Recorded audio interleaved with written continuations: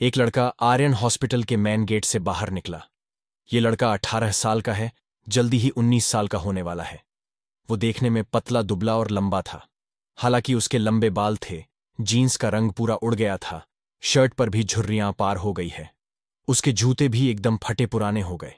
जब वह अस्पताल से बाहर आया, तब आर्यन ने अस्पताल से बाहर आकर गहरी सांस ली। लगभग पूरे एक महीने से वो अस्पताल में था।